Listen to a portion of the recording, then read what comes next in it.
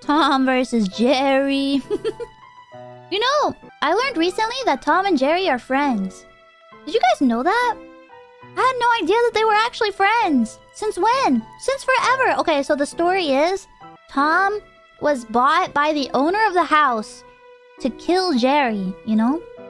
But Tom and Jerry ended up becoming friends.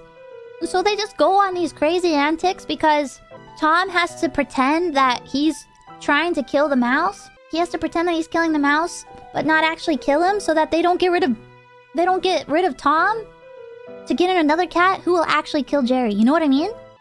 That's the lore. Tom and Jerry are basically Nina and you. Yeah, but I'm Jerry. Nina's Tom. Is this real or fanfic? It's real. It's real. It's real. There are there are episodes where like we're like um I saw a video on it recently where like Tom will get food and then like share it with Jerry and they're just like ah ha ha ha ha, and then when they go back outside or whatever or back where the where the people are they pretend to fight each other. Isn't that crazy?